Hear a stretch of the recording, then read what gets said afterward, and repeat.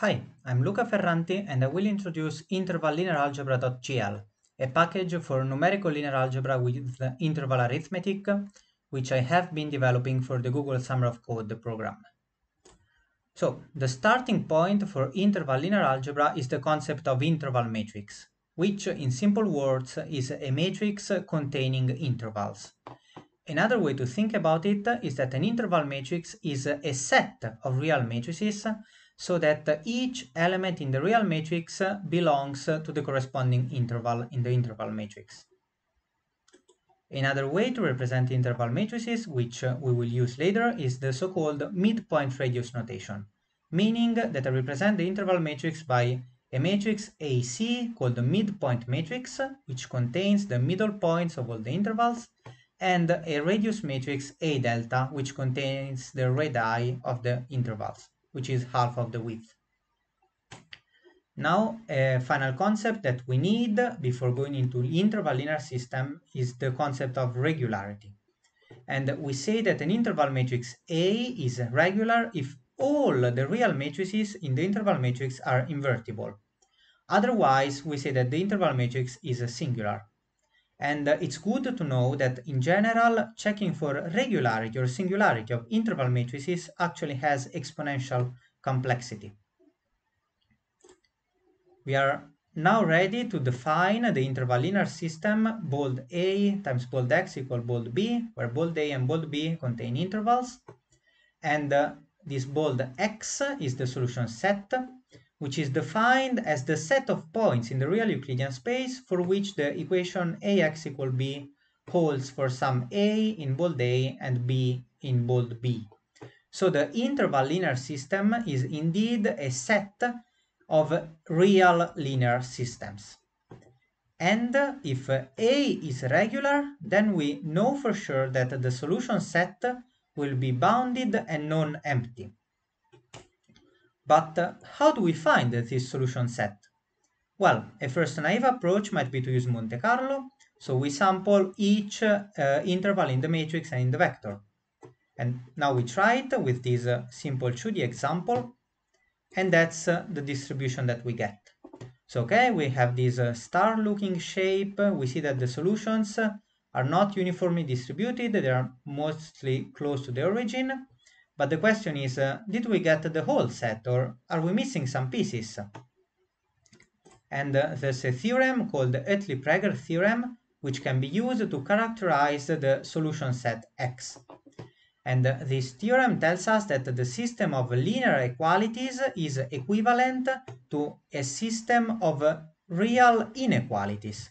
So at least in principle, we can uh, describe explicitly the solution set X by solving this uh, system of uh, real inequalities. However, it's good to know that this approach actually has exponential complexity, so not feasible for higher dimensions. Now uh, we solve our 2D example in, with Oettli-Praeger, that's how we do it in the package, and we get that the solution set is this star composed by four convex polygons, one for each uh, quadrant. And uh, we also see that uh, the original Monte Carlo uh, simulation actually didn't cover the whole set, left some areas uncovered. Here we have a 3D example, so we try to solve this 3D linear system of interval equalities, and that's the solution set that we get. So again, this 3D non-convex star composed by eight convex polytopes, one for each orthant.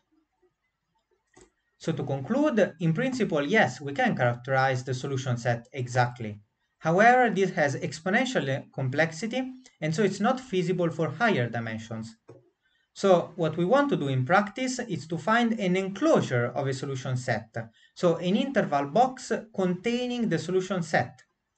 Ideally, we want the hull, so the tightest uh, interval box containing the solution set, but actually it turns out that also finding the hull unfortunately is uh, exponentially complex.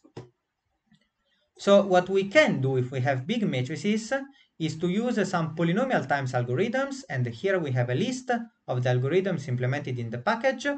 which will give an enclosure which may, however, be strictly larger than the hull. So here, for example, we solve our 2D problem using Gaussian elimination. And when we plot the result, we see that we get an enclosure, but however, this enclosure is larger than the hull. And that's something that happens in general. There are special cases when we can get the hull, but in general, we will have some overestimation. And finally, another important concept when we talk about interval linear systems is preconditioning. So those polynomial time algorithms, which I mentioned before, work only under some assumptions on the matrix A. And if A doesn't uh, fulfill those assumptions, what we can try to do is to precondition the problem. So multiply both the sides of the equation by a real matrix C, so that the CA will fulfill those assumptions.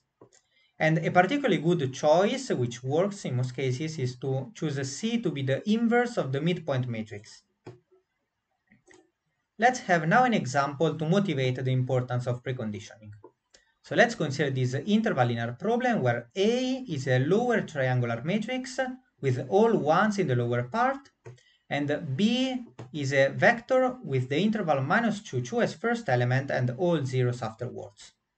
And here we can see what is the theoretically correct answer if we solve the problem with pen and paper. Now, Let's solve this problem without preconditioning with the two algorithms, Gaussian elimination and Hansen-Bliek-Rohn. In both cases, we see that uh, we get the first two elements right. However, the other elements, instead of being zero, are intervals with an exponentially growing width.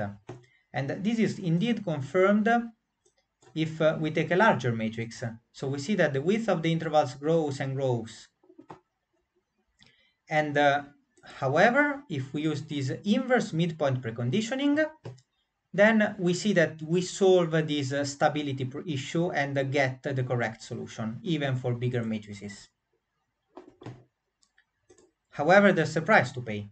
When we precondition the interval linear system, we are actually changing the problem that we are solving, which means that the solution set of the preconditioned problem will not necessarily be the same of the solution set of the original problem. Indeed, if we precondition the problem, we may enlarge the solution set, as it's demonstrated here. So this is our original 2D star. Now we solve with Oettli-Praeger the preconditioned problem, and we see that we get this bigger star. So conclusion, preconditioning is needed in general to achieve numerical stability. However, the price to pay is that we are also enlarging the solution set. And uh, there are some heuristic strategies uh, to decide whether or not we need preconditioning and what kind of preconditioning we use. Some of those are also implemented in the package. So if we take the example of before, we see that uh, if we don't specify the preconditioning, the solver noticed that, okay, for this kind of matrix, I might have uh, numerical issues, and so I use preconditioning. And without specifying it, we get the correct answer. So conclusions, in this talk I showcased IntervalLinearAlgebra.jl and what it can do at the moment, which is solve interval linear systems. Hopefully there will be some new features coming on soon, like parametric interval linear systems, eigenvalue problems, and so on, and we'll reach the ultimate goal, which is linear algebra done rigorously. Thank you for listening. If you want, you can download the Pluto notebook from this link. It also has the link to the package. I hope you enjoyed the talk and enjoy the rest of JuliaCon.